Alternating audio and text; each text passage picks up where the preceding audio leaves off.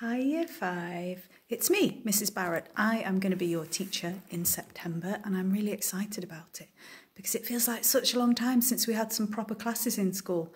I think that you're going to really love being in Year 5. We've got an amazing teaching assistant, Miss Porter. She's the best.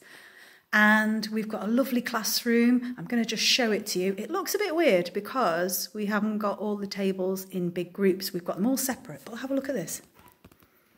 Okay, so you can see that all the tables are separated out. But that's good because it means that you'll get to have a nice table to yourselves with your partner and even you're going to get your own pencil case in this class that's already been labelled up for you with your own equipment. Do you know? Don't tell anybody, but you're even going to have your own glue stick. So that's really cool. So we are going to have lots of fun.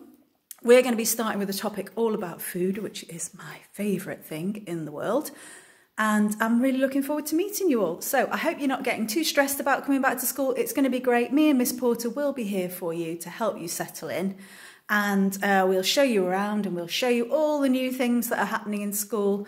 So you just need to come in on that first day with a big smile on your face and I am excited about it. So I'll see you soon, year fives. Bye.